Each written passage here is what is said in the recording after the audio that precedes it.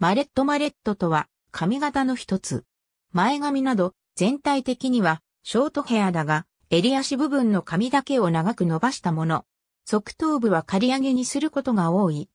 オックスフォード英語辞典によると、この髪型を指して言う、マレット、マレットは、アメリカのヒップホップグループ、ビースティーボーイズがおそらく作った言葉で、世に広めたのは、間違いなく彼らである。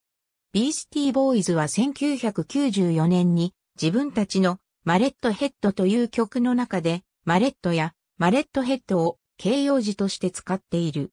それまで、マレットヘッド、直訳すれば、ボラノを積むという言葉は知性に乏しい人を指して言う言葉で、映画、暴力脱獄に登場する悪漢も、マレットヘッドと呼ばれている。もともと欧米では1970年代に流行が始まり、1980年代に大流行を見た。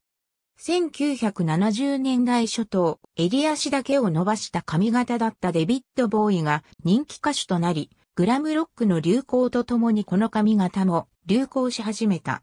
1970年代末以来マレットは一般にも大流行し、1980年代に人気が爆発した。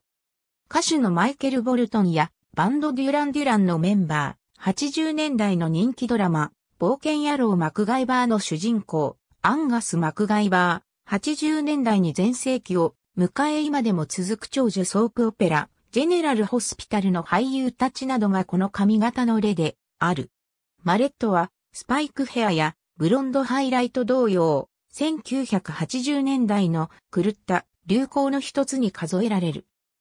1994年、アメリカのヒップホップグループ、ビースティーボーイズは、アルバム、イルコミュニケーションズに収録された、マレットヘッドという曲でこの髪型をネタにし、翌年自分たちが発行していた雑誌グランドロイヤルで世界最悪の髪型マレットに関する大特集を組み、マレットの歴史やマレットの有名人の写真などを数多く掲載した。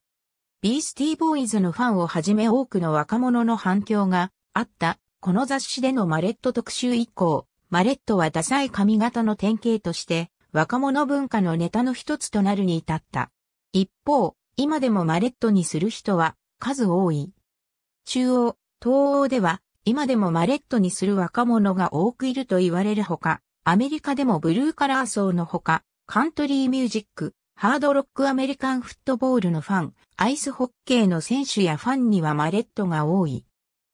またレズビアンの中にもマレットにする者がいる。その他、サッカー選手や OG フットボール選手など、各国のプロスポーツ選手にはマレットの人が多くいる。日本でも1980年代に玉木浩二や松崎厚美らがこの髪型であったが、2021年現在でも尾崎正史、天山博吉などの有名人が知られる。マレット NQ Oxford University Press 2019年1月閲覧 Mullet Head Lyrics MetroLyrics、Retrieved 3 May 2015、あまりにも、ダサい髪型、マレット、まさかの復活。AFP、2021年3月10日閲覧。ありがとうございます。